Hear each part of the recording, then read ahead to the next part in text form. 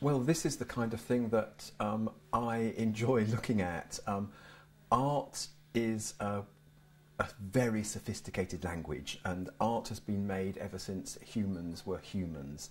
And since then, artists have always looked at art that already is in existence, either to be influenced by it or to reject it, to laugh at it, to deride it, to mock it, to be inspired by it, to be provoked by it.